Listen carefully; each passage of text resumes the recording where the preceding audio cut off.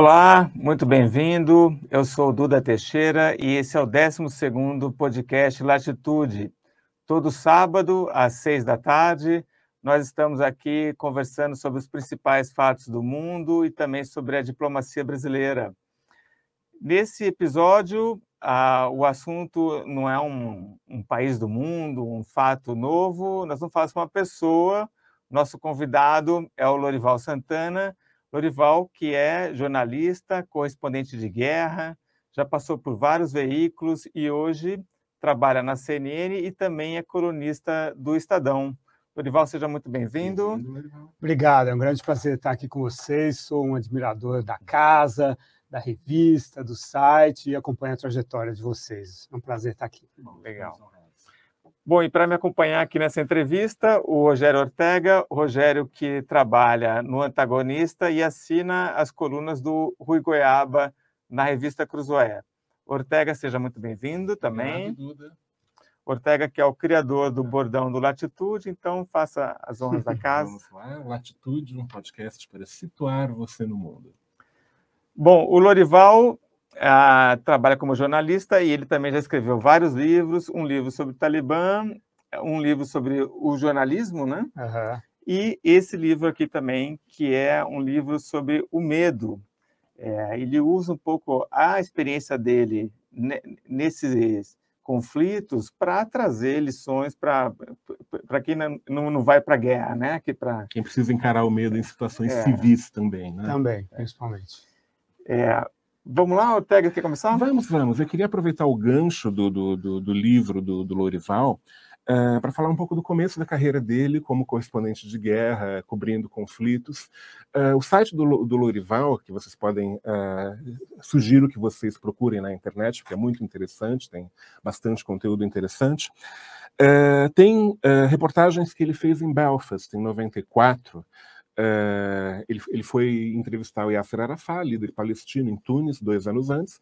E em 94 ele foi para Belfast, a capital da Irlanda do Norte, cobrir os conflitos de lá, que se resolveriam quatro anos depois nos chamados Acordos da, da Sexta-feira Santa. Então eu queria saber de você, uh, Lourival, essa foi a sua primeira cobertura internacional de conflito. Uhum. Como foi? Como você se preparou? Como, uh, como você driblou o eventual medo que sentia e o que encontrou de inesperado por lá? Certo, eu estava baseado em Londres naquela época, eu trabalhava na BBC e era stringer, ou seja, correspondente freelancer do Estadão, e esse material eu fiz para o Estadão. Então, morando em Londres, eu tinha muito, muita familiaridade com o conflito, era a época em que Londres não tinha lata de lixo por causa Sim. dos atentados terroristas, né? E aí, só que, para mim, a questão mais difícil, e que foi quando, bom, eu já tinha um contato com isso no, no, no conflito árabe-israelense, que era a questão de a religião ser uma marca que leva ao, a, ao conflito. Né? A religião identifica as pessoas. É claro que no caso árabe-israelense tem uma questão étnica também, uhum. que é a língua né, e tal. Uhum.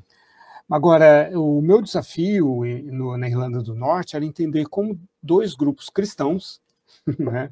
E ambos falando a mesma língua, né? É... Com as mesmas tradições, no caso da Irlanda do Norte, da República da Irlanda. É, né?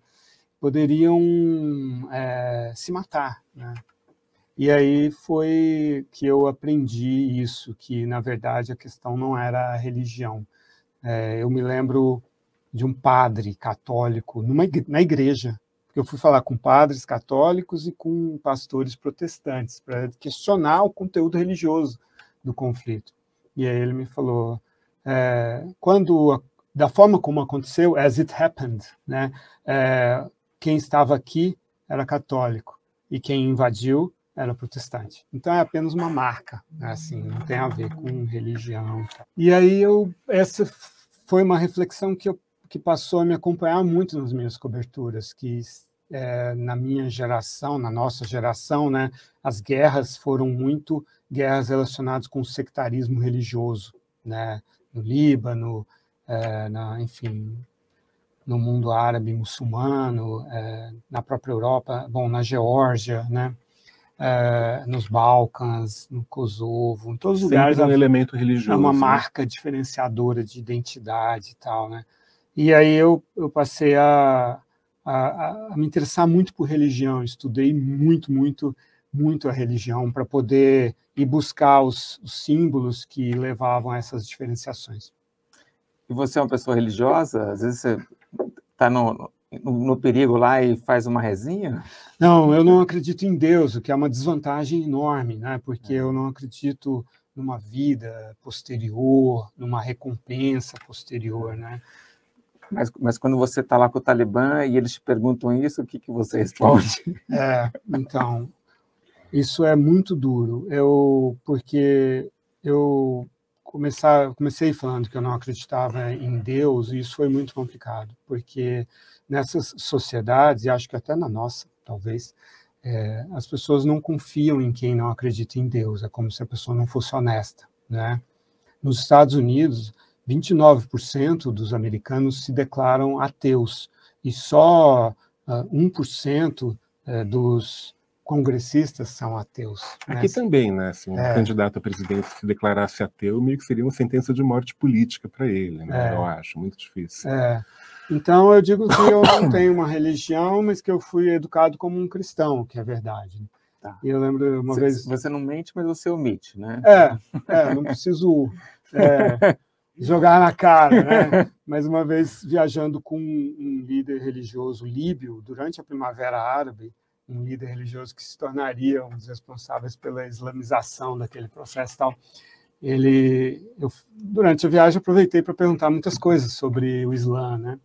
E aí ele falou assim: Você já sabe muito sobre o Islã, é melhor você se converter, senão you'll be in trouble. Quando você morrer, né? Porque se você já sabe, teve contato, então você não tem desculpa para não se converter, né? Você, você vai tipo, você vai para o inferno, né? você não terá nenhuma chance. Né?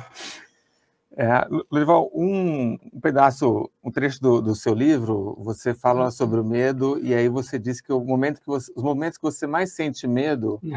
é quando você está no avião e durante a noite, isso, né? Isso. É por quê? Isso, isso é muito importante para entender esse livro e os passos que eu, sete passos que eu proponho para lidar com medo, porque quando eu comecei a dar palestras sobre coberturas de guerra, isso há, há 20 anos, é, as pessoas perguntavam, mas você não tem medo? Eu falava, tenho, né? Ué, então por que, que você volta? Ah, aí elas mesmas respondiam, já sei, você gosta da adrenalina, e de jeito nenhum, não gosto de jeito nenhum de sentir medo, né? Então eu mesmo comecei a me investigar, me perguntar, ué, por que, que eu gosto de cobrir guerras se eu não gosto de sentir medo? E se eu sinto muito medo, né? E aí a primeira coisa que eu comecei a observar foi isso, quer dizer, que eu sinto mais medo é, quando eu não estou cobrindo a guerra. Quando eu estou indo para a cobertura, que eu estou lendo sobre a guerra, e que aí é a minha imaginação que trabalha, né, e o meu conteúdo interno, e quando e durante a noite também, né? Por exemplo, no Líbano, é, eu, eu fui sob bombardeio para o sul, lá para Marjeium, que era o, é, a 10 quilômetros da fronteira de Israel, onde estava havendo bombardeio, com um, um líder religioso, que hoje até mora em São Paulo, e ele ia rezando, né? E, e, um avião nos acompanhando, um avião israelense, provavelmente checando que carro era aquele e tal, nenhum carro na estrada, só nós, né? E, e eles foram então bombardeando assim, pequenos, mísseis pequenos assim, iam pontuando para a gente ir devagar, lançando mísseis na frente da gente de forma muito precisa, não para nos atingir, mas pegava fogo na encosta para intimidar da, né? montanha para a gente ir devagar enquanto ele checava. Essa é a minha hipótese. Uhum. E aí chegando lá, fiz toda a apuração durante o dia sobre bombardeio. E aí quando a noite chegou, né, que eu fui à casa do Sheik, estava é, toda já as janelas todas sem sem não tinha mais as janelas, né? Todos caíram com as esquadrias assim intactas pelo pelo impacto das bombas. Ele estava do lado do bosque de onde o Hezbollah disparava os foguetes para uhum. Israel, né? E aí durante a noite eu escutava então o avião dando a volta, né, decolando de Israel, dando a volta e vindo nos bombardear, né? E aí eu e era que nem uma, uma máquina de costura elétrica, assim, né? tuf, tuf, tuf, tuf, tuf, muito regular, assim, tuf, e a cada tuf, bum, né? Era um míssil que explodia. E eu me senti muito pequeno, assim, me senti que nem uma formiga, assim, e pensei, esse piloto que está lá em cima, ele não sabe que eu existo, nem sabe quem eu sou. Né? Uhum. E se ele apertar o botão um segundo antes ou um segundo depois, disso é que depende se eu vou voltar a ver meus filhos ou não. Né? E eu falei, e ele vai voltar com a sensação do dever cumprido para a base dele, independentemente do que aconteceu comigo. Né? Uhum. Não comigo, mas com os meus filhos. Uhum. Né? Uhum. E aí eu pensava, eu sou um irresponsável, eu não devia estar aqui, eu tenho filhos, né? Eu sou a única pessoa aqui que uhum. veio por opção, né? Então, no dia seguinte, voltou, voltei a trabalhar sobre o bombardeio e não senti mais esse medo todo, né? Quando as bombas caem muito perto, a gente se assusta. Mas aí eu percebi, fui e, ó, e com muitas outras histórias que foram acontecendo é, ao longo de décadas, eu fui observando então que é, para eu entender por que, que, como eu lido com o medo, e como todos nós podemos lidar com medo, é, é, o fio condutor é sair do meu mundo interno. Né? Assim, e o, a realidade da guerra é tão forte e, e a tarefa de cobrir a guerra é tão mobilizadora que eu me esqueço de mim mesmo. Eu ia dizer isso. O trabalho, a necessidade de é. trabalhar, de cobrir a guerra e de reportar, faz com que você se esqueça do, do, do, do meus, medo. dos meus dramas internos. Uhum. Né? Então, aquela coisa da imaginação, eu digo que a imaginação é um fermento do medo, né? porque aí você mistura com as suas fantasias né? e tal. E, e outra coisa muito forte que nos tira de nós é a empatia, a compaixão. Né? Se pensar no outro, se preocupar com o outro. Né? Na Síria, na guerra, eu fui o único jornalista que acompanhou uma missão da ONU e pude entrar numa área onde eu já tinha entrado com funcionários do governo sírio, que ninguém tinha vindo conversar comigo. Mas eu era estava com uma câmera ligada e com capacetes brancos da, da ONU, só cinco capacetes brancos. E aí, aquela câmera ligada, as pessoas vinham falar, me contar as histórias, né? E no meio da contando histórias horríveis de guerra e tal, e de ódio, né? E no meio daquilo, uma mulher falou assim: é, Espero que você volte são e salvo para o seu país. Né? E aí eu percebi que na dor dela, no momento em que ela olhava para mim e pensava em mim, né, ela, aquilo provavelmente aliviava a dor dela. E esse, essa mesma coisa acontece comigo. Eu estou ouvindo as pessoas eu também me esqueço da minha dor, do meu diálogo interno, né, do meu monólogo, uhum. que é sempre muito doloroso, né, que todos nós carregamos. Então eu descobri essas coisas que a empatia e o interesse pelo outro e pelo mundo nos, nos faz esquecer. E quando eu ainda estava, nada disso era consciente para mim, nas palestras eu comecei a responder de forma totalmente inconsciente a essa pergunta, assim, é porque eu, é uma oportunidade de eu me esquecer de mim mesmo. E aí eu pensava, eu ouvia essa resposta e pensava, pô, deve ser horrível ser eu mesmo. E de fato é. Quando você, quando eu estou muito investido em mim mesmo, dando muita importância para mim mesmo, minha vida é muito pobre e, e eu sofro. Né? Então é uma oportunidade de me esquecer de mim mesmo. Era para isso que eu para isso que eu cubro guerras, para me esquecer de mim. Você teve momentos em guerras que você parou o seu trabalho para ajudar alguém que pedia ajuda, alguma coisa assim? Não, eu nem sequer no terremoto do Haiti. É, talvez não tenha havido uma situação em que a minha ajuda fosse realmente crucial, só tivesse eu para ajudar, né? Sempre havia outras pessoas que podiam cumprir é, essa função, né?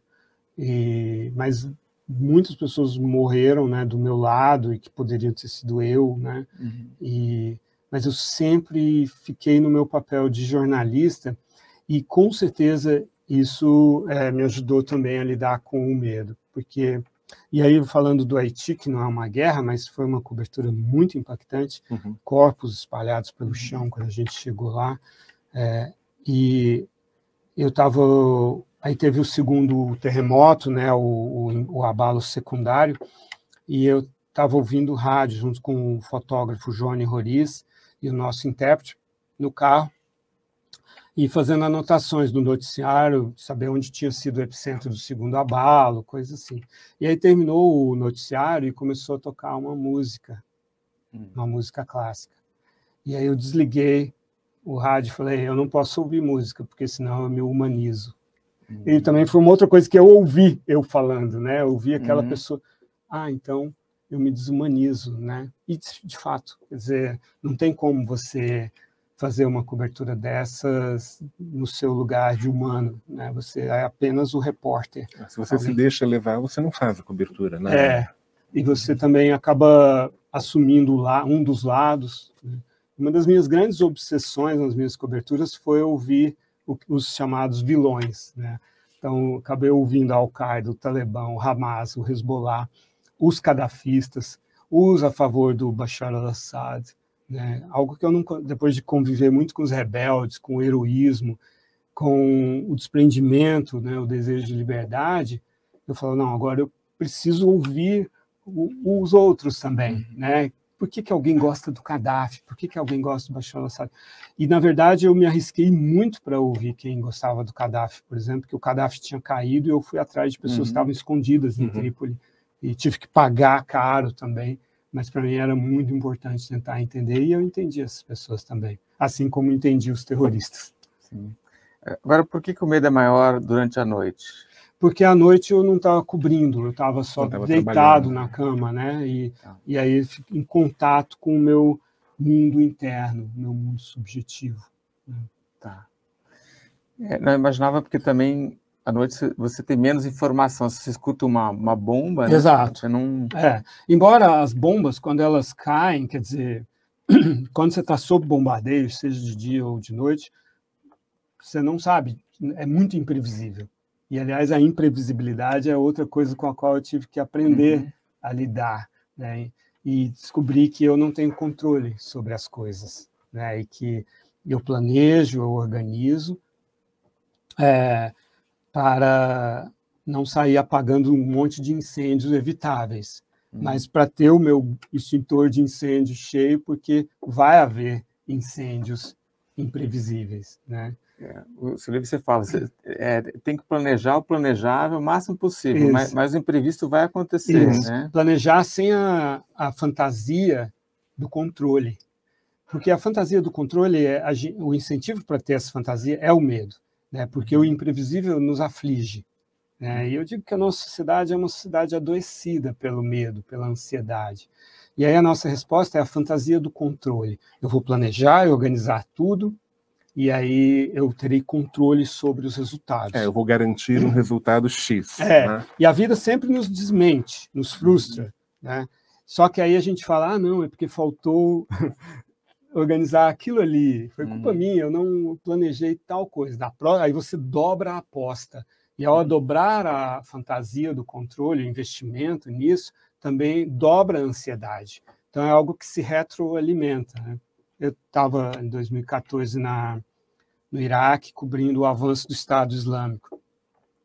E os curdos, é, os peshmergas, né, que estavam fazendo ali o, aquele primeiro contenção, né? é, contenção. E eu estava dois quilômetros, eu estava no front, a dois quilômetros do Estado Islâmico, é, que tinha acabado de de decapitar um amigo meu, né? Nossa. E eu tive que assistir o vídeo e aquilo. É... E aí eu estava muito triste, muito mal, assim. Eu pertenço a um grupo de correspondentes de guerra e, e o meu jornal, na época, o Estadão, publicou a foto é, dele é, ajoelhado, né? E aí eu fui criticado né, no, por colegas que cobrem guerras, mas que não estavam lá onde eu estava, né? Uhum. E, e aí entrei em discussão com eles e tal, e estava num momento bem ruim.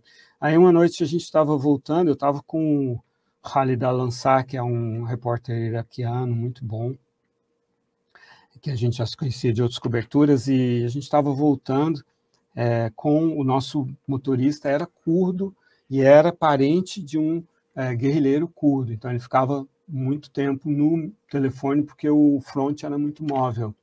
E a gente estava voltando, a gente estava baseado em Erbil, a capital do Kurdistão iraquiano, e, e, de repente a gente viu uma placa assim, Mossul, né, que era em frente. Mossul era a cidade que os rebeldes, que os, o Estado Islâmico estava uhum, ocupando, a uhum. principal cidade uhum. ocupada por eles. a gente tinha errado o caminho. E se aquela placa não estivesse lá, a gente iria cair bem no, no meio Estado Islâmico. do Estado É. Islâmico. E a placa já estava cheia de furos, de balas e tal. Qualquer bomba ou vento forte ou tempestade de areia teria derrubado aquela placa, né? E aí o motorista deu um cavalo de pau assim e correu na direção contrária e o e o, e o Khalid falou: a gente não quer jantar com o Estado Islâmico. Aí eu falei: até porque nós seremos o jantar.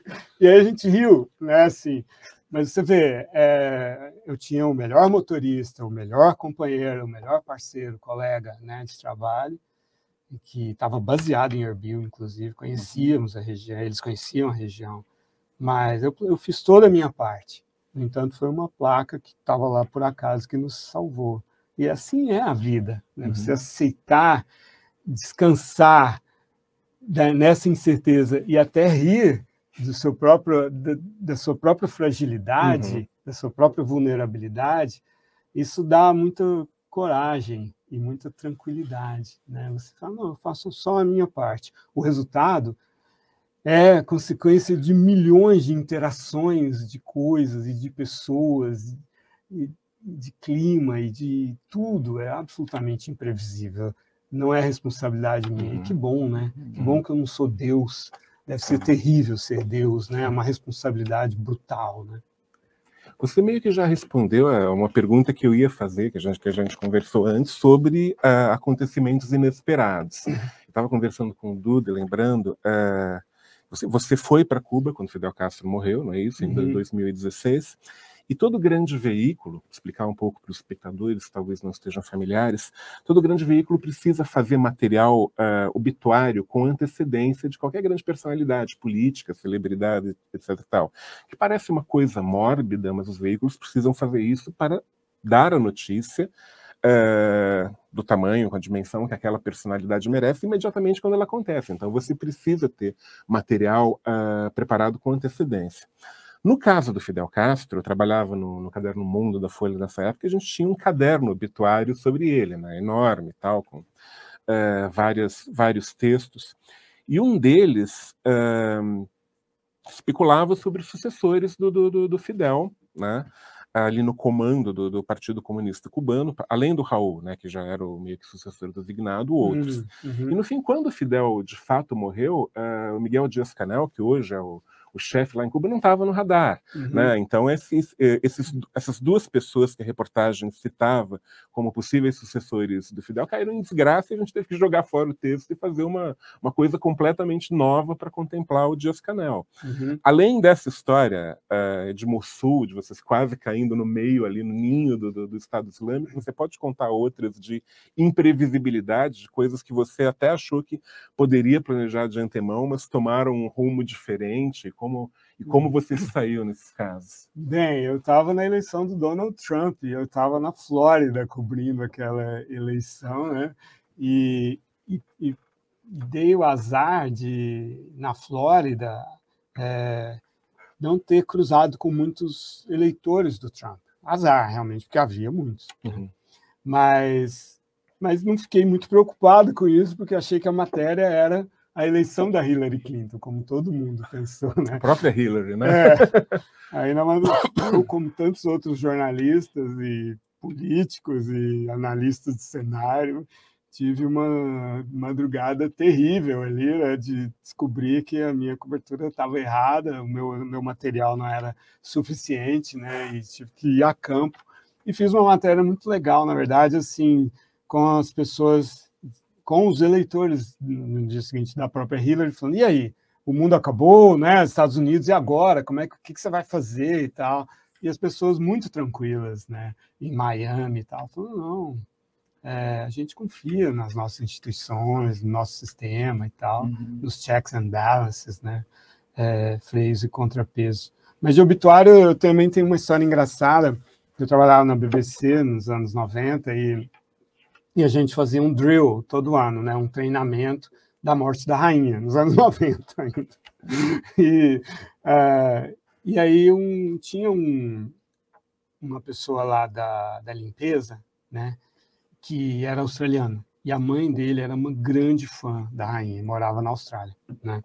E ele estava lá limpando e viu tudo aquilo na, na, televisão, no rádio, tudo. A simulação da morte. Né? Falando, né? noticiando a morte, mas era só o circuito interno da, da BBC, né? Assim, aí ele catou um telefone e ligou para a mãe. Falou, mãe, a rainha morreu.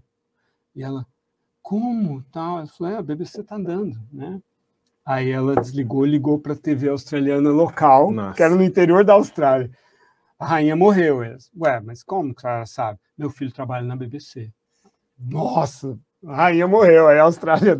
Aí só quando chegou lá na, na rede nacional australiana que eles checaram. Então, obituários preparados é, podem ser bem perigosos.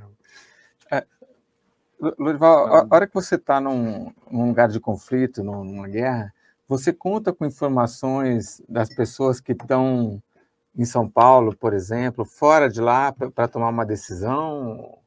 Sim, é, para tomar a decisão, em geral, não. É, inclusive, tem uma situação em que, de Benghazi, né, quando Benghazi, o, o, é, o comboio do Gaddafi estava se aproximando de Benghazi, né, e para destruir Benghazi, né, e a instrução foi sair de Benghazi, né, e eu me recusei a, a sair. É. E o pessoal do, do, jornal aqui falou: sai daí. É. Você conseguiu é. contra-argumentar? Tipo, não posso sair porque. Não, eu parei de responder os e-mails. É. E eu considero, eu já tinha sido editor-chefe do jornal naquele uhum. momento, eu, eu considero assim que, que essa é uma decisão do repórter. assim E ele tem também que arcar com aquelas consequências. Claro. Né? E aquele foi um momento de muito conflito, assim, é, para muitos repórteres. Também Bagdá, né, os repórteres que saíram de Bagdá em 2003 é, ficaram muito magoados, muito mal, se sentiram muito mal, embora até um colega morreu, né? Mas, é, mas outros colegas, muitos colegas morreram em Benghazi também, né? Porque antes da chegada do comboio, as células adormecidas cadafistas despertaram e, e começaram a matar jornalistas, né? Mataram um, um, jornalista líbio que filmava tudo e tal, estava filmando, e a câmera dele mostra ele sendo morto. E, e, civis também, para criar o caos na cidade, a insegurança. Né? E naquele momento o Conselho de Segurança da ONU estava votando a intervenção da OTAN. Uhum. E e acabou a, a, aprovando a intervenção da OTAN, que bombardeou aquele comboio. E depois do bombardeio, eu fui percorrer o comboio. Eram 25 quilômetros, é, 40 é, caminhões transportando foguetes Grad, esses foguetes russos uhum. que estão sendo usados na, na Ucrânia. Ucrânia. Né? Uhum. E, e aí eu fui para o hospital, né? E encontrei um menininho de 5 anos chamado Mustafa, é, que tinha levado um tiro de fuzil, tinha um curativo enorme no peito, assim, e estava sentindo dor, levantando o bracinho. O pai dele já tinha sido enterrado e a mãe estava com o cérebro totalmente exposto, vegetando, assim, só simbolicamente colocada do lado dele. E a história é que é, eles estavam saindo de casa, fugindo da cidade, e aí os cadafistas passaram, viram a cena do casal jovem e a criança no carro, deram uma charré, abriram fogo e o seguiram. Né? E o meu país, o Brasil, tinha, tinha se abstido na votação do Conselho de Segurança. E aí, à noite, né, naquela noite, eu pensei assim, poxa, eu estou aqui, sou o único brasileiro que está aqui, uhum. né? É, correndo o risco de nunca mais ver meus filhos, e, e o meu país se absteve, como se, como se fosse é, indiferente ao país, né? Se deve bombardear ou não um comboio que vai destruir uma cidade de um milhão de habitantes. E se a OTAN tiver, se o Conselho de Segurança tivesse discutido menos e votado mais rápido, é, o Mustafa ainda teria uma família. Uhum. Ele não sabe, mas ele não tem mais. Uhum. Então, esses sentimentos, esses conteúdos durante a noite crescem muito, uhum. né? E aí eu pensei, por que, que eu estou aqui? Meu trabalho não tem uhum. nenhum sentido, porque eu escrevo no Estadão, não sei se a Dilma Rousseff lê minhas matérias, se não lê. O fato é que é, para ela isso aqui é totalmente indiferente, não tem a menor importância. Uhum. Né? E eu, portanto, não tenho menor. Meu trabalho não tem importância. Uhum. Mas era durante a noite. Né? No dia seguinte, eu acordei, tomei banho e fui fazer o meu trabalho, porque a gente não pode ser motivado pelo resultado do trabalho mas só pela, pelo desejo de fazer. Né? Não para mudar o mundo, mas só para tentar entender o mundo. Uhum. E aí, nesse caso, ficar em Benghazi foi a decisão acertada. Né? Porque... Provou-se a decisão acertada no fim, né? Sim.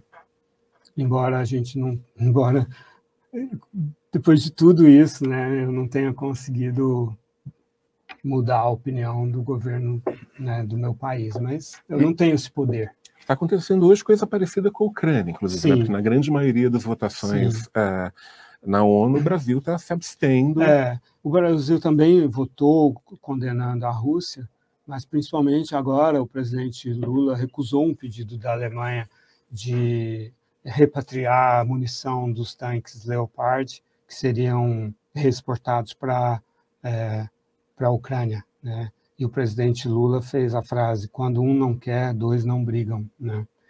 É, então, quando uma menina não quer ser estuprada, ela não é estuprada. Quando um, uma criança sofre bullying na escola, se ela não quer sofrer bullying, ela não sofre.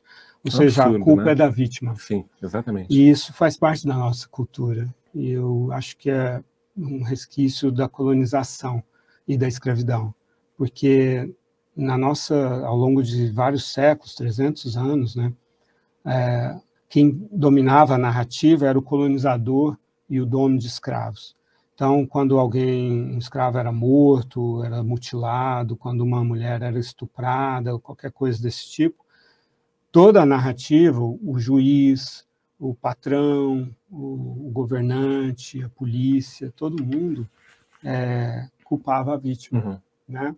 Foi ela que eu vi recentemente quando teve um massacre em Osasco, que a polícia se vingou da morte de um policial uhum. abrindo fogo contra jovens que estavam na porta de casa às 10 da noite. Uhum. E eu ouvi de um, uma pessoa que prestava serviço para mim, um pequeno empresário, um médio empresário, o que, que esses jovens estavam fazendo às 10 da noite na rua, na periferia, quando o filho dele podia sair, voltar às três da manhã, às duas. O filho dele pode se divertir. O filho do pobre só pode trabalhar, estudar e dormir e comer, não pode se divertir. Né? Então, a vítima no Brasil ela, ela é culpada. E, e, o presidente Lula disse à revista Time que o, que o, o Zelensky é um bom comediante, que gosta de televisão e que estava sendo feito, fazendo uma guerra para aparecer na televisão e que tudo bem, mas a gente não pode fazer uma guerra para uma pessoa se divertir, que ele estava se divertindo. Isso chocou o mundo, essa entrevista. Né? Mas é Sem parte dúvida. da cultura brasileira. Eu vejo muita gente dizendo isso, respondendo todos os dias as minhas análises, uhum. na, nas quais eu responsabilizo a Rússia por ter invadido a Ucrânia, que não, não, não. A responsabilidade é da Ucrânia e do Ocidente. A Ucrânia provocou. Provocou. Quando a OTAN nunca fez qualquer movimento no sentido de invadir a Rússia. E, aliás, nenhum país, desde a Segunda Guerra Mundial. O último país que invadiu a Rússia foi a Alemanha nazista, com a qual a União Soviética stalinista tinha feito um pacto e ambos invadiram a Polônia, dividiram a Polônia, só que depois o, o Hitler traiu o Stalin. Uhum. Ele foi totalmente surpreendido. Ele achava que estava tudo muito bem com ele e o Hitler dividindo a Polônia entre uhum. eles. Uhum. Lorival, teve algum momento ah, em que alguma matéria sua, uma cobertura sua, teve um impacto, mudou bastante a opinião das pessoas aqui no Brasil ou de um governante? De internacional, não que eu saiba, assim, é, talvez tenha tido, né? É que acho que os presidentes não, não se interessam muito, né, por, por, por internacional, né? É, o Brasil é um país continental, e, que não tem poder econômico e nem militar, e, portanto, não tem projeção geopolítica. Né? Uhum.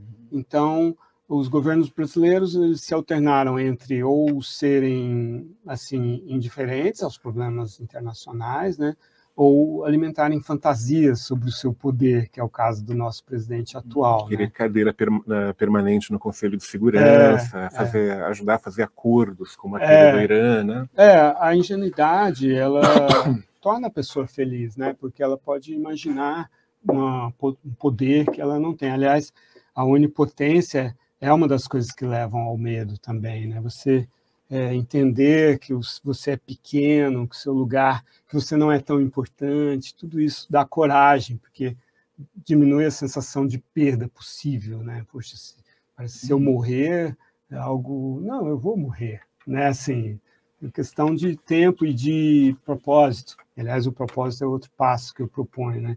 Fazer as coisas com propósito, sinceridade de propósito, é, para ter coragem, então. E agora é, o Brasil quer é, não é contra as sanções contra a Rússia, está uhum. comprando fertilizantes da Rússia e esses dólares eles são usados para a Rússia comprar drones do Irã e mísseis da Coreia do Norte para matar civis ucranianos, que é o que os russos estão se dedicando. Portanto, nós estamos financiando, financiando nossos nossos reais viram dólares que viram sangue ucraniano e esse cinismo, né? Não, são os interesses, o comércio. Não, quando tem guerra, os valores humanos falam mais alto. Tanto que a, a Europa e os Estados Unidos estão pagando com inflação de alimentos e de energia. Sim, a Europa... O Biden pode não se reeleger. A Europa tinha disso. muito a perder cortando os laços comerciais tem, com, a Rússia. Né? Estão com inflação. É uma decisão moral ali. Moral. Faz 40 anos que a Europa e os Estados Unidos não tinham inflação de 9%. Né? E isso, numa democracia, é complicado. Né? Dá para ver muito claramente aqui que tem o seu trabalho, que é cobertura de guerras, mas você, você precisa estudar é, religião, né, psicologia, filosofia, é. né? Então, e você falando em filosofia, você é, fez os créditos para um mestrado em filosofia, né? uhum. mas não, não, se formou. Uhum. Você usa a filosofia no seu trabalho quando você está cobrindo uma guerra? Sim, e depois eu fiz um mestrado em jornalismo em que eu apliquei um conceito que eu aprendi com o Immanuel Kant, que é a, e com outros filósofos também, a ideia a, a, de um fim regulador da razão, uma ideia que serve para regular a razão. Então, é, eu apliquei essa ideia para o conceito de isenção no jornalismo, como algo que você nunca vai alcançar, mas que é um fim regulador da razão. Que se você desiste da isenção, você se torna cínico. Se você acha que alcançou a isenção, você se torna ingênuo. Então, o repórter ele vive numa condição, e aliás, acho que o ser humano também. Uhum. Né? É parte da condição humana buscar algo inalcançável como um, um norte, né? um destino. E aí você não chega lá nunca, mas você faz o percurso. Você tem que buscar. É, você é importante ter o norte para te direcionar, ainda é. que você não vai chegar lá nunca. E, sabe, e, é importante saber que não vai chegar. Uhum. É. Então, essa é uma das coisas que eu aprendi na filosofia que eu transpus para o jornalismo, que é um grande debate, né, a isenção. Né? É, eu não uhum. acho que a gente pode ser objetivo, porque somos pessoas subjetivas. Não acho que a gente uhum. pode ser imparcial, porque a gente vive parcialmente as coisas. A gente, a nossa capacidade de compreensão é limitada. Eu sei disso. Né? Mas todos os dias a gente tem a oportunidade de acrescentar outras coisas, de corrigir os erros, de matizar, de nuançar, de até de fala, sabe aquilo que eu disse ontem? Bem, tem esse outro aspecto aqui, uhum. ou eu estava errado, dependendo do caso. Né? É, de não ter compromisso com o erro também, uhum. né? De, de, é. de, Aí a gente vai evoluindo, embora essa evolução a gente nunca. É. A gente acha também que a gente evolui, né? Também não... é. é, é, é a gente não pode deixar a nossa personalidade, as nossas crenças na gaveta como se elas fossem uma coisa completamente separada. Mas você pode mirar na, na, na, na é. no, no, ouvir o outro, no respeito a outras crenças, no interesse em ouvir o que pessoas com que você não concorda têm a dizer, né? É. E o jornalista ele é tão exposto a uma realidade que é tão complexa que de fato as crenças, eu, por exemplo, tenho bem poucas, assim, porque acabei que a dúvida é que é uhum. o meu principal é, a minha principal, meu principal estado mental é o da dúvida, né? Assim, e, e, no jornalismo a gente aprende uma coisa também bem no início, que é assim, se perguntar se eu tenho ou não a informação. Eu tenho a informação ou não? Né? Essa uhum. é uma uhum. pergunta que vocês se fazem, uhum. eu me faço também. E essa é uma pergunta muito saudável hoje em dia, para pessoas que recebem coisas no WhatsApp, Uhum. E, e, eu mesmo recebo de parentes, é, né? Todos, todos nós. É, Lorival, isso aqui é, é verdade. É verdade. Em, em, em, cinco segundos eu consigo provar que não, né? Basta já, felizmente, essas maravilhosas plataformas de checagem, né? Então é, mas a gente é treinado para se perguntar: eu tenho a informação ou não? Né? Eu já posso publicar ou não? Né? Isso é muito bacana. Dá para bancar ou não? É, né? eu tenho muito orgulho desse treinamento que a gente tem. Sim. Legal. É legal. Ah, Lorival, bom, você também foi várias vezes ah, lá para o Afeganistão e, e, e teve, enfim, entrevistou os talibãs e tudo mais. Ah, desde a primeira vez que você foi, você viu o Talibã mudando de alguma maneira?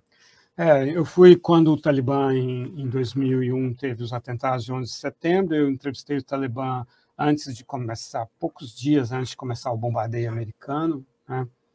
E, e eles estavam ali muito convictos, né, culturalmente e religiosamente, que eles tinham que proteger o Osama Bin Laden, porque era o hóspede deles.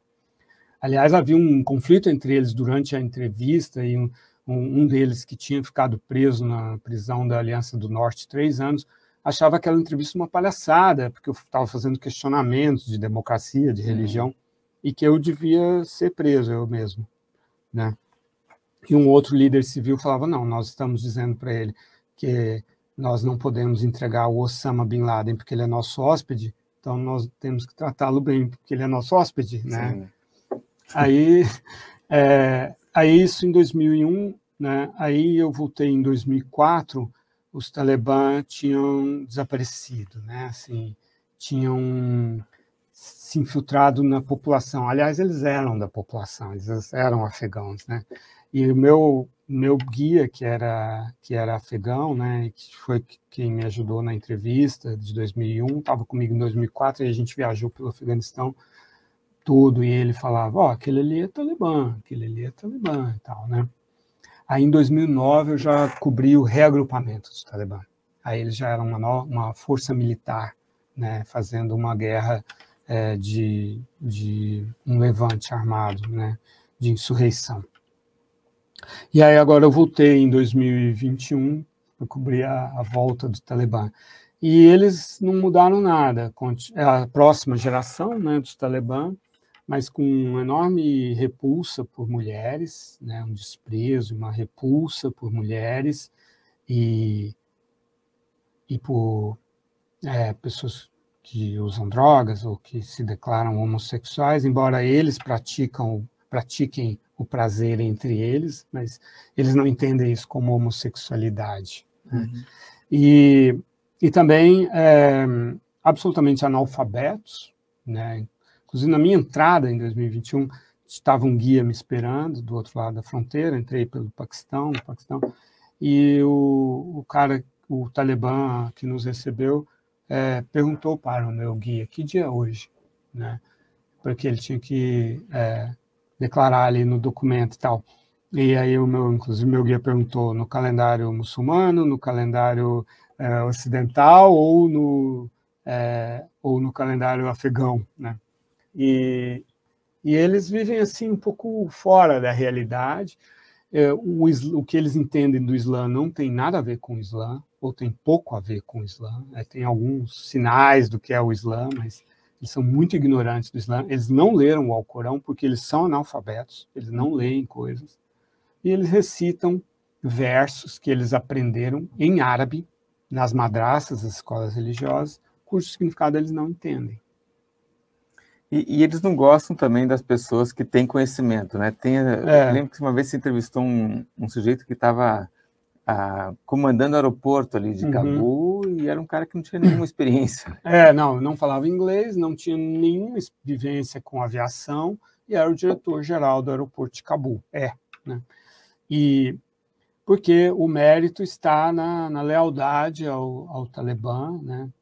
Da mesma forma como o comandante das Forças Armadas Russas, o Gerasimov, é bem ruim tecnicamente, mas é leal ao Putin. Esse uhum. é o uhum. critério. Né? Por isso, toda essa dificuldade da Rússia, não só por causa do Gerasimov, mas todo o comando militar russo na Ucrânia é muito incompetente porque está lá por lealdade ao Putin, não por competência profissional. É um critério meio autodestrutivo, né? É. Vai para o Irã, é a mesma realidade, Coreia do Norte, é a mesma realidade, Venezuela, a mesma realidade, Cuba, a mesma realidade, e o Afeganistão é assim. Todas as ditaduras são assim. Na China também, agora, com Xi Jinping. A meritocracia está perdendo força na China, né? É, bom, Lorival, você ah, no livro fala um pouquinho do, do, seu relógio. Não sei se é esse relógio que você está aí. É, esse aqui. Que, que, é tipo o relógio do Dick Tracy, né? é, é, um relógio militar, né? Que ele é muito importante para mim, porque ele, bom, ele é uma bússola, né? Uhum. E é também mede a altitude, é, mede o vento e a uhum. temperatura.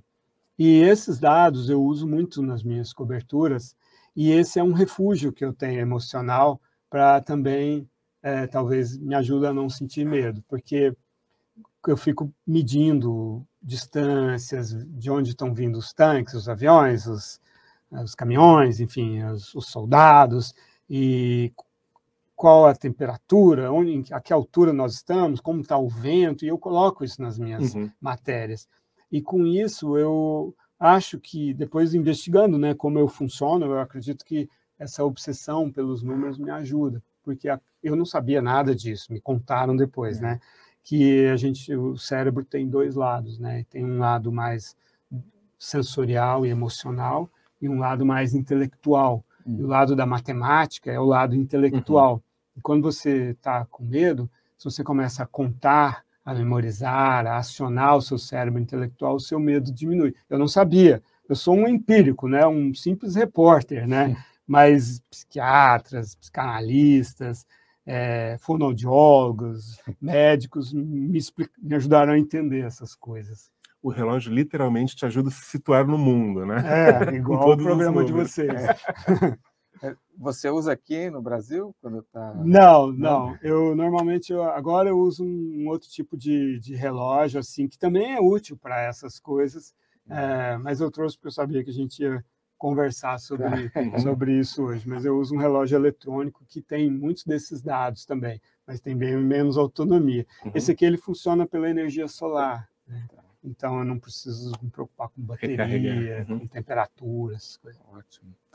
Lorival, uma outra questão que eu estou lembrando, ah, do, do, do, que eu aprendi no jornalismo aí, quando a gente está em viagem, isso eu fui ensinado, tá? Que, que, você tem que fugir dos outros jornalistas, né? Uhum. É, uma, porque a gente tem medo de, de entregar, né? A, a, aquela pista que você tem, né? Senão, de repente, vai ter. Uhum. E, enfim, e, outra também para não ajudar os outros. É uma coisa meio, meio individualista, ah. mais competitiva, né? Ah, e você, quando está viajando, ah, você, você às vezes, como é que você vê essa relação com os outros jornalistas? Assim, você evita também ou você uhum. precisa deles? Como é que você? Ah, eu não fico com outros brasileiros. Se houver outros brasileiros, eu não fico com eles. Agora, outros colegas é vital. Uhum. É questão de sobrevivência, realmente. Mas então eu tenho amigos americanos, é, europeus, franceses, é, irlandeses, ingleses. Tudo gente você conheceu nas coberturas. Nas coberturas. É, e locais também, né?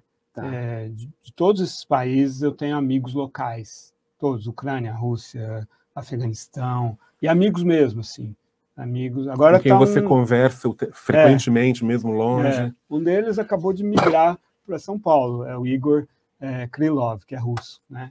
E está aqui, vou encontrar com ele daqui uns dias. Somos assim, irmãos, não amigos. Né? Assim, então, qualquer coisa que ele precisar ou eu precisar, se precisar uhum. ficar na casa dele, se precisar do carro dele, se precisar de dinheiro, uhum. qualquer coisa, para sempre. Porque em poucos dias de guerra você vira irmão das pessoas, uhum. instantaneamente. Né? instantaneamente, espontaneamente e para sempre. Né? Mas já aconteceu de você se decepcionar com algum outro jornalista? Hum. Sem citar nomes. Uhum. Claro. Decepcionar, não. Não. Jornalistas? Não, não me lembro. Tá, todo mundo se ajuda ali. Na... É, tá. é, acho que sim. Talvez eu tenha decepcionado alguém, mas nunca ninguém me decepcionou. Acaba virando uma rede necessária de, de colegas de profissão sim. de variadas procedências. Sim, né? a guerra é muito transformadora, né? Assim, isso é algo que os brasileiros têm o privilégio de não saberem, né? Mas assim, na guerra os valores mudam completamente, ou você volta para os seus valores originais, né? Então, a dignidade, né, o amor, a liberdade, essas coisas ficam no topo da agenda, acima até mesmo da vida. Da... Ontem eu estou estudando o taoísmo, vocês perguntaram sobre religião, uhum. Eu, depois de passar pelo hinduísmo, o budismo e o shintoísmo, mas no, eu relembrei o taoísmo que eu descobri quando eu tinha 17, 18 anos de idade. Outro dia eu tive um estalo, é o taoísmo, e fui ver se era mesmo. Estou lendo dois livros ao mesmo é. tempo, ouvindo e lendo.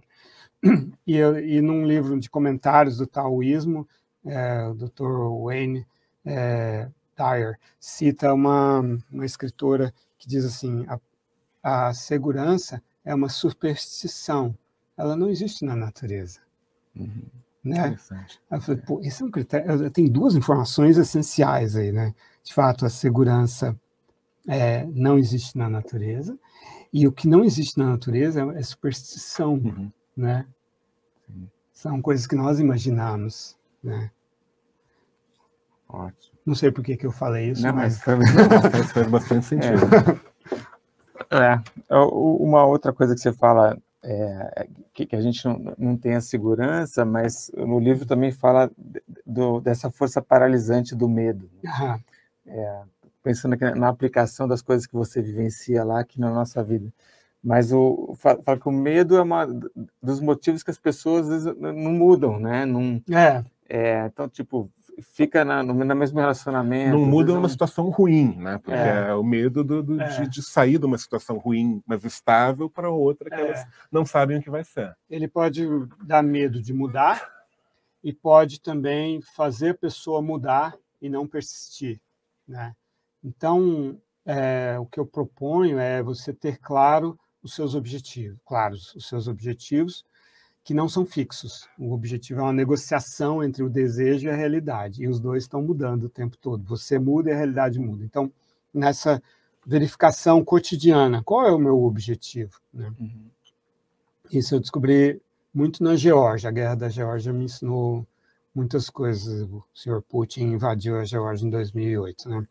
E, e ali eu eu passei por várias situações, assim, por exemplo, quando eu é, um, eu entrei no, na área de conflito da Geórgia, né? Passei pelo checkpoint russo e entrei na em direção a Tskinval, na Ossétia do Sul, né? E e aí um major russo organizou uma carona para mim é, com um casal, ele russo e ela é, georgia, ele russo e ela ele georgiano, desculpa, ele georgiano e ela ossétia, né? Uhum. Ou seja, era um casal híbrido, estava indo para a Ossétia do Norte uhum. Para se refugiar na Rússia. Né? E aí eh, eu entrei nesse carro e tinha passado antes um Lada com quatro é, milicianos ossétios, né? E, e tinham me visto e tal no checkpoint. Quando a gente virou a primeira curva, que a gente não estava mais visível no check, do checkpoint, os milicianos estavam me esperando, nos esperando. Aí tomaram o carro, tomaram tudo que o casal tinha, que era a mudança do casal, pouca coisa, mas computador, roupas e tal. E o casal ficou na beira da estrada e eles me mandaram entrar no Lada, né? E eu entrei, e aí o, o que ficou do, do banco do lado, que os dois que estavam atrás foram embora com o Opel do casal. E aí o que estava no banco passageiro apontou um fuzil para mim, né? E gritou coisas em russo, pensando que eu entendia, né? Que é a língua uhum. franca da região. Mas eu não entendia. Aí eu fui, arran... fui abrir a porta do lado, o lado estava andando já, e a maçaneta, inclusive, saiu na minha mão e eu pulei na estrada, né? E, eu, e eles foram embora, né? E, E aí, depois disso, aconteceram muitas coisas. À noite, eu, aí eu consegui. O major ficou furioso e, com aquilo, e aí os próximos ossetes que vieram, ele mandou deitar no chão, porque eram os russos que mandavam nos ossetes, uhum. eles eram aliados. Né? E aí o major arranjou uma nova carona para mim, com militares é, russos. Mas quando eu estava, quando isso aconteceu, eu tive que decidir, bom, será que eu devo continuar com o meu plano de ir para Skin Valley? Ou será que o que aconteceu aqui mostra que a situação está é, tá muito perigosa? Eu posso ter já chegado ao limite da minha segurança. Aí eu perguntei, mas o que, que eu tenho até agora? O que, que eu apurei? Né? Nada. Né? Assim, só tenho uma aventura minha. Uhum. Eu não tenho, eu não sei o que está acontecendo na Ossétia do Sul, estou na margem da, da Ossétia do Sul. Então, se eu cheguei até aqui e eu desisto, tudo que eu vivi, porque antes disso também um soldado russo tinha mirado um fuzil em mim quando eu cheguei uhum. num carro georgiano. E aí eu desci, falei para o motorista e o dono do carro da marcha ré embora que eu seguia a pé. E o soldado que era do Daguestão ficou apontando o fuzil para mim e eu caminhando na direção dele com passaporte brasileiro e credencial Brazilian é. correspondente. Eu tinha estado na Rússia, mas na, naquele ano, numa das eleições do Putin, Medvedev, 2008. E aí era então a segunda vez que alguém apontava um fuzil para mim, né? E aí eu falei, não, mas tudo que eu vivi até agora, o fato de eu estar aqui, de eu poder nunca mais ver meus filhos, que é sempre o que vem na cabeça, uhum. perde o significado, se torna uma aventura. E eu odeio a ideia de aventura, né? A ideia narcísica do uhum. heroísmo, né? Uhum. E aí eu falei, não, então eu tenho que ir para Skin Valley, por tudo que eu vivi, né? Então é isso, o objetivo claro, uhum. né? O foco no objetivo claro, ele te coloca dentro da razão, né? É a razão que tem que decidir. E aí, naquele mesmo dia, eu, aí eu fui para Skin Valley, fiz minha cobertura, e aí eu precisava voltar, né? E consegui uma carona com os ossétios, assim, que queriam abastecer num posto que estava de graça lá, que eles tinham arrombado o tanque e tal, estavam saqueando as coisas dos, dos georgianos. E aí eu era o álibi para eles passarem nos checkpoints, né? russos.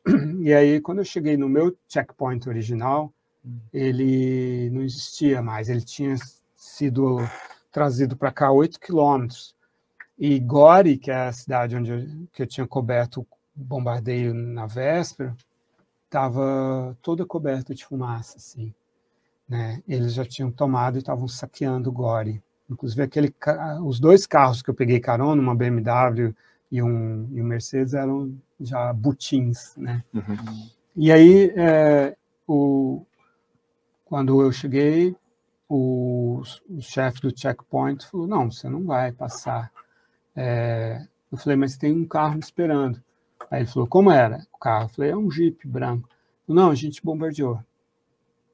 Aí eu falei, não, não o meu Jeep, porque eu falei com eles pelo telefone e tal.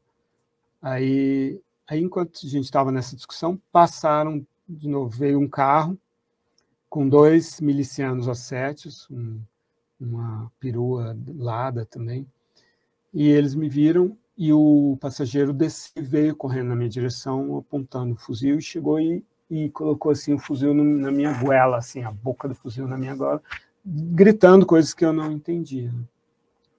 E eu fiquei paralisado. E, e aí o, o cabo gritou coisas para ele, que incluindo correspondant Brasília. E aí o cabo, aí o cara tirou o fuzil e foi pro carro e eles foram embora. E aí o cabo falou: "Relax, they thought you were Georgian". E aí eu entendi que eu tinha hum. cara de georgiano, eu não sabia é. disso, né? E aí, com relação ao instinto, quer dizer, é, o meu instinto de, de fugir na primeira uhum. vez me salvou, porque se você pensar bem, se eles disparassem o fuzil, o carro ia ficar imprestável. E minhas vísceras iam se espalhar pelo carro, ia fazer um buraco no lado. O major ia ouvir e uhum. iria atrás.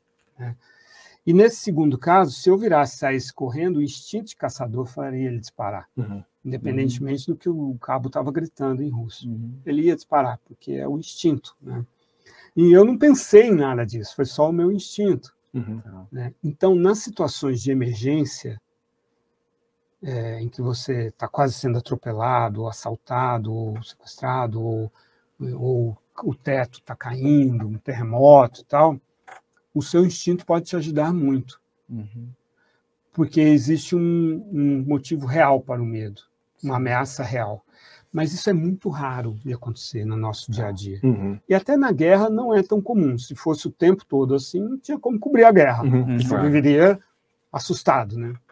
Então, o que eu digo é o seguinte, que o instinto, nós temos esse, essa ferramenta fantástica que é Uhum. o instinto para as ameaças reais. Todo o resto é imaginado. Tá. E então, se é imaginado, é, esse medo ele é construído internamente, Uhum. né? Daí a coisa do avião, quando eu estou indo para a guerra, da noite. Então, a gente tem que retomar o contato com a realidade, com o mundo real. Uhum. Então, esses são os, ah, os estímulos, os incentivos que eu encontro: o trabalho, o mundo real, o interesse pelo mundo real e também pelos seres humanos, a empatia, a compaixão e tal.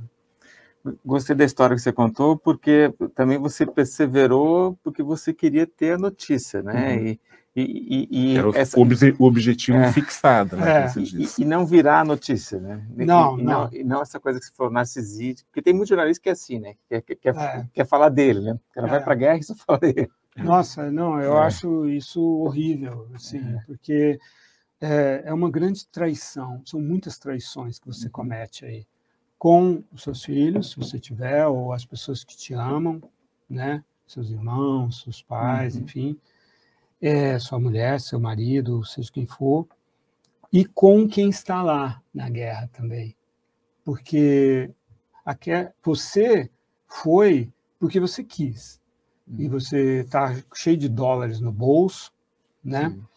Tá com todas as condições e você pode procurar sair quando você Uhum. quiser Uhum. e você sempre voltará para casa. Lá é a casa deles. Uhum. Então, quando você começa a ouvir as histórias das pessoas, é impossível você se lembrar de você. É realmente impossível, porque é, é- são histórias tão fortes, tão genuínas, são dilemas tão dos pais ficar ou ir embora, né? Se você fica, está sob bombardeio. Se você vai embora, você pode ser bombardeado na estrada e você vai virar refugiado, você vai morar na rua, em alguma outra cidade ou em algum outro país, sem Uhum. nenhuma fonte de renda, sem comida, sem. É. E, e não é você, são seus filhos ou seus pais, muitas vezes. Então, diante dessa desse drama, de- esse é o, é o grande barato da cobertura. Você esquece de você. Ah, eu Sim. tenho. ah, nossos dramas se tornam absolutamente Pequenos, né? ridículos. É. Orival, super obrigado aí pela Obrigadíssimo, entrevista. foi muito legal. Eu que agradeço o Nossa. interesse de vocês. Não, foi foi uma aula aqui não só de jornalismo, mas de filosofia, religião, né? Muito bacana. Bom, esse foi o Lorival Santana, jornalista, correspondente de guerra, palestrante, autor de vários livros, inclusive esse daqui que eu indico muito sobre o medo. Lorival, muito obrigado. Muito obrigado. Rogério, muito obrigado. Obrigado, Duda. Esse foi, então, o 12º podcast Latitude, todo sábado, às seis da noite. Todo sábado a gente vai conversar sobre fatos do mundo e também sobre a diplomacia brasileira. Repetindo nosso apelo de sempre, não esqueçam de compartilhar, clicar no sininho para receber as atualizações, espalhar a palavra do Latitude, fazer o Google ver que o nosso programa é interessante, traz convidados bacanas, enfim. com- curtam, compartilhem, assistam, esperamos que vocês gostem. Latitude é feito para vocês. É isso aí. Tchau, muito obrigado. Tchau, boa noite.